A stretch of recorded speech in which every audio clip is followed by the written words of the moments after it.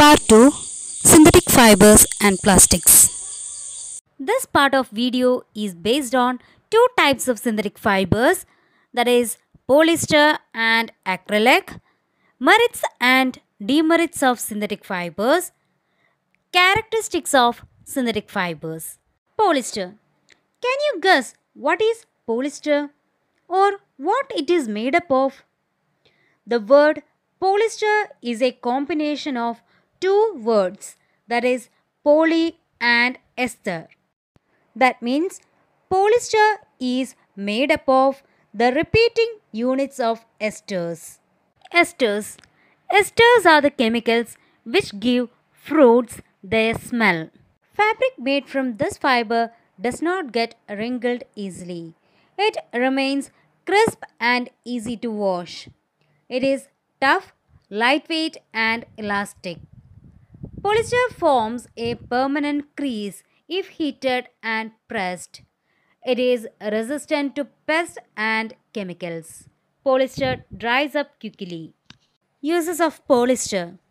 You must have seen people wearing polyester shirts, saris, and other different types of dresses. It is also used for making magnetic audio and video cassettes and floppy disks. It is mixed with fiberglass for molding it into helmets, protective sheets, and hulls in boats. Have you ever heard of terylene? It is also a polyester fiber. Terylene is used widely in textile industry to make clothes like saris, dress materials, etc. Terylene is mixed with cotton is known as terrycot is used for making dress materials. Terylene and wool is mixed together is known as terry wool is used as a substitute for costly woolen clothes. Pet Have you ever noticed your mother always buys pet jars and bottles for storing rice, sugar, water, etc. What PET is?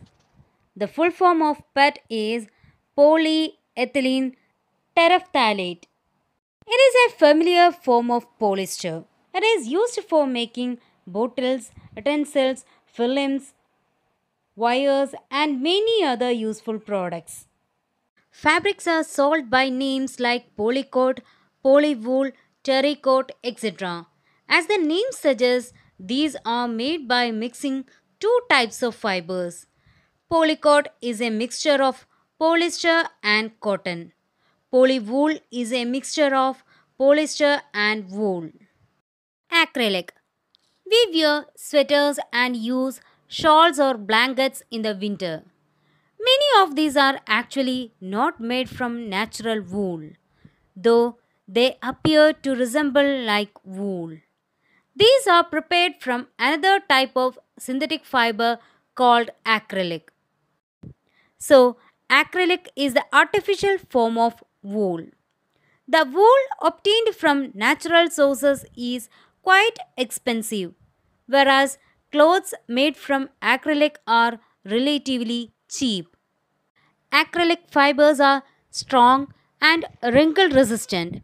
It is easy to wash and dries up quickly. It is resistant to moths, oils, chemicals, and deterioration on exposure to sunlight. It gives wool like feel. Acrylic is used for making artificial fur, blankets, carpets, etc. It is good for baby wears because they are soft, warm, and washable. It is also used to cover automobile lights, lenses, surgical tools, etc. Advantages of synthetics Synthetic fibers do not depend either on an agricultural crop or on animal farming. They are generally cheaper than natural fibers. Synthetic fibers possesses unique characteristics which make them popular dress material.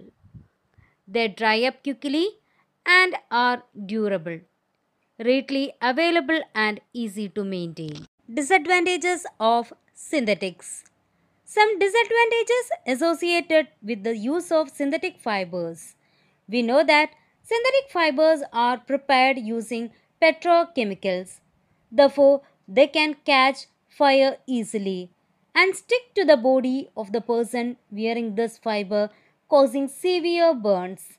Hence, it is advisable not to wear synthetic clothes while working in the kitchens or laboratory or near any source of fire. Unlike natural fibers, they do not absorb sweat. They are not biodegradable and hence causes a lot of pollution. So, we can discuss the characteristics of synthetic fibers. Synthetic fibers are cheaper than natural fiber.